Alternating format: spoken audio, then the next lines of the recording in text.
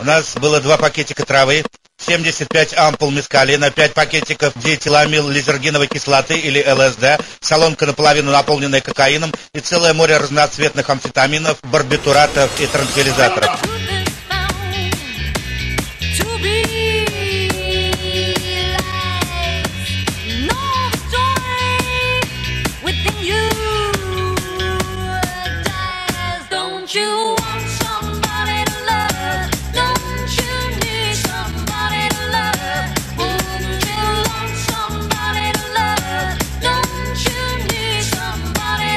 Чертов эфир.